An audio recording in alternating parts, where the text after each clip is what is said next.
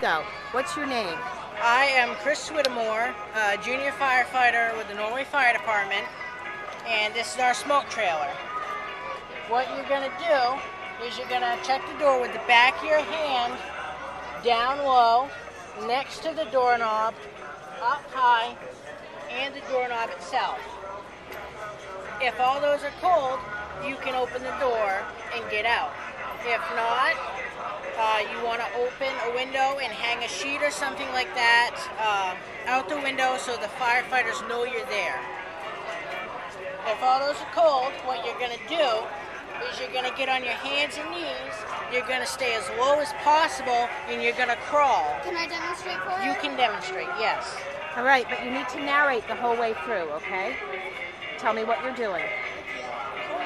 Okay? And your name is? Michaela Martin. And are you a junior firefighter too, Michaela? Uh, no, my brother is. Okay. Okay, check the door too.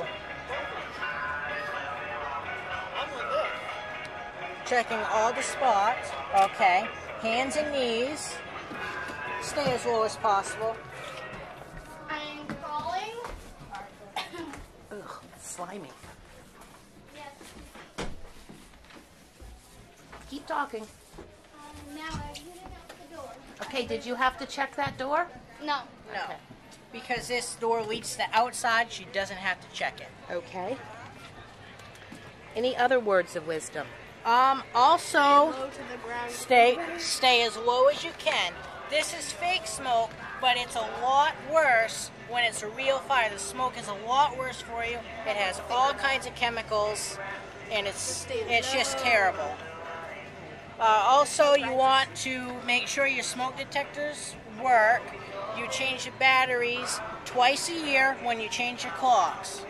Okay. Also, it's good to have a carbon monoxide alarm in the house also. Yeah, because we had the fire alarm and the carbon dioxide put together in one, and when the fire alarm, when the fire alarm um, comes on, it goes fire, fire, and it's really annoying.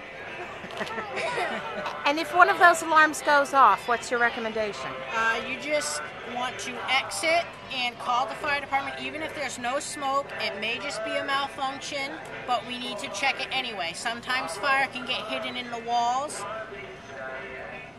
um, which, and you don't always see smoke. It could go off for any reason, malfunction, but just call the fire department, have us check it. And carbon monoxide? Carbon monoxide, same thing. Um, just call 911, get out. Thank you both very much. You have to